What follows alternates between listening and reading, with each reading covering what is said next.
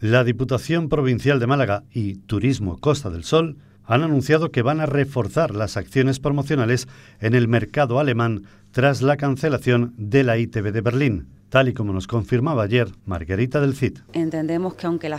feria se haya cerrado, nosotros habíamos hecho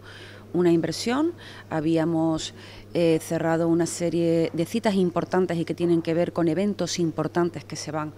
eh, a celebrar en Málaga, Costa del Sol, para el año que viene, con lo cual entendemos que tenemos que estar.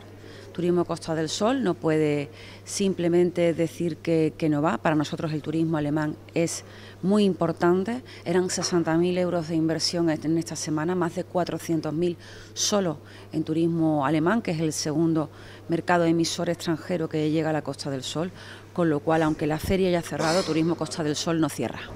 Así, desde Turismo Costa del Sol realizan un llamamiento a la tranquilidad ante la cancelación de la principal feria turística mundial que se iba a celebrar la próxima semana en la capital alemana. De esta forma, Turismo Costa del Sol va a continuar manteniendo las citas de trabajo y reuniones previstas durante esta semana, no solo en Berlín, sino también en otras ciudades alemanas como Múnich y Frankfurt, para así estar en contacto con el medio centenar de turoperadores, líneas aéreas y agencias de viaje con las que tenían citas al margen de la feria.